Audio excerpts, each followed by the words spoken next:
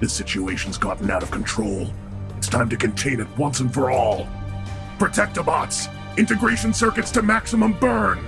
Scramble protocol! Alright! It's now or never.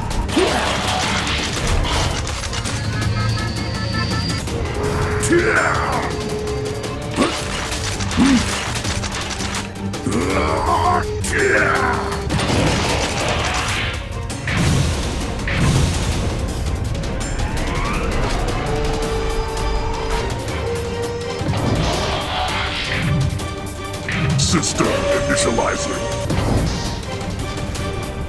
Time to wake up. Cognizant integration complete. Defensor online.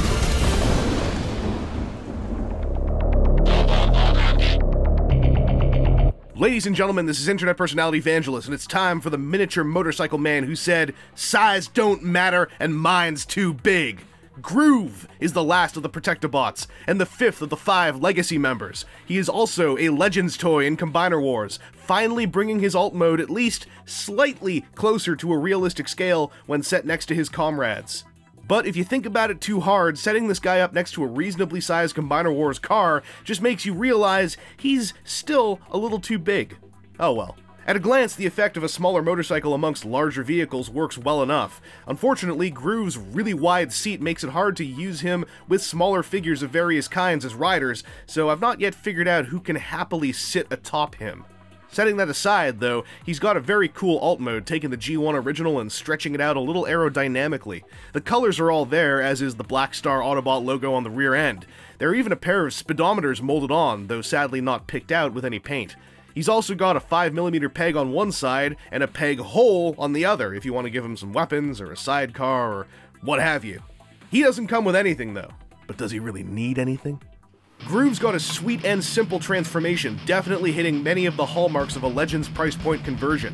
Unfortunately, his big shortcoming is the fact that neither of his shoulder blocks actually fasten onto his center mass, just wedging in and hoping that various frictions will keep them in place.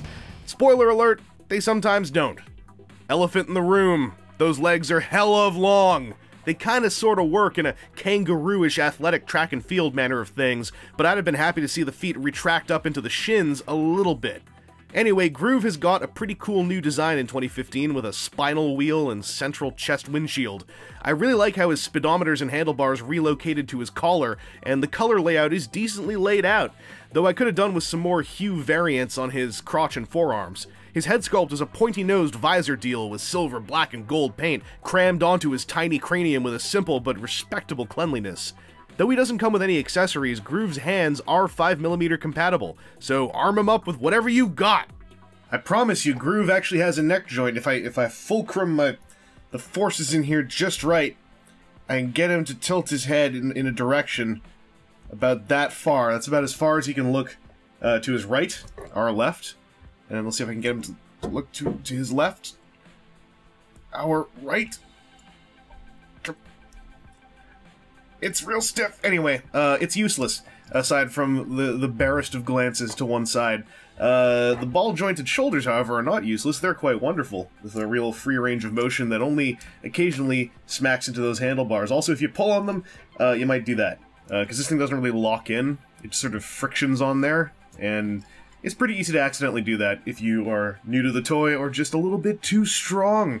Uh, he's got ball-jointed elbows, which afford a bicep swivel, and a little bit of an inward tilt if you want to get a, a kind of curvature to his arm going on. Uh, there is no waist joint. Uh, there is a bit of a, an ab crunch using the transformation joint, and you can get it to go about this far before you start, you know, bumping into the windshield and untransforming it or potentially popping it off.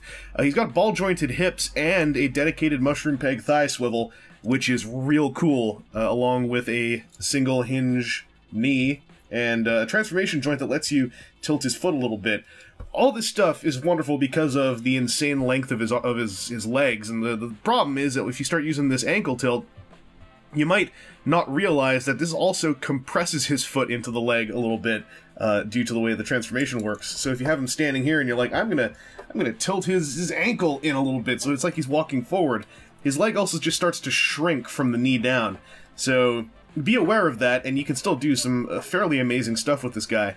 Uh, I'm not sure if my copy just has like a real paint stuck head or something, um, but the head can move, and if the head could move just a little bit more freely, uh, this this dude would be real top tier. As it is, he's fine. He, he's pretty darn posable. He's he's able to look like he can like just you know ride or kick you real hard. Maybe not while looking at you, but he'll still ride or kick you super hard. Uh, it's just a shame that he can't more easily look left and right uh, while he's doing so. Oh! Groove may no longer be a limb, but he's still a part of Defensor. Much like Blackjack, Groove can become a chest plate to turn the Protectobot Combiner into a 6-bot Gestalt. He connects on there pretty securely and totally looks like he's sticking out a little too far. Except in person, something about this design blends together and kinda works. The white black star plates sort of jaggedly slope towards the vague tip that's formed by the wheel and windshield. If this isn't working for you, don't fret. There are a bajillion fan modes for just attaching Groove to Rook as a leg. I've never tried any of them myself, but man, have I seen pictures! Legends Groove isn't quite as cool a package as Blackjack, but he's certainly still up there as a well-done motorcycle transformer at that smaller price point. It's easy to pass on him up front, as Defensor looks fine and dandy without him, but I feel he brings a neat modernizing aspect to the Combiner, especially in tandem with Rook. And he adds a lot to group shots, mixing in some fun variety with his size. On his own, he's also got good modes, good posability, and a quick fun transformation. I just wish those feet slid up a little bit at the end. Anyway, this has been Internet Personality Vangelus, that's been Combiner Wars Groove, that's been the Combiner Wars Protectobots. We're about halfway through the line, Titans Return is on the horizon. Guess I still got a pile of Dash R repaint reviews to make, don't I?